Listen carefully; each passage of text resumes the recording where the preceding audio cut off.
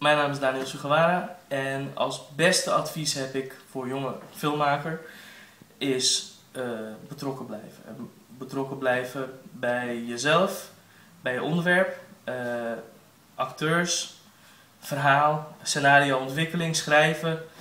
Nou, eigenlijk gewoon bij het hele proces, maar gewoon voornamelijk ook bij jezelf en wat je dan uiteindelijk, je uitgangspunt van wat je zo mooi vond aan je onderwerp. Want een film maken kan soms nou ja, een paar jaar duren. In mijn geval ben ik nu bezig met een film en dat duurt al meer dan 7 jaar. Dus film maken is geen sprint, maar een marathon. Daarmee hoop ik dat het betrokken helpt.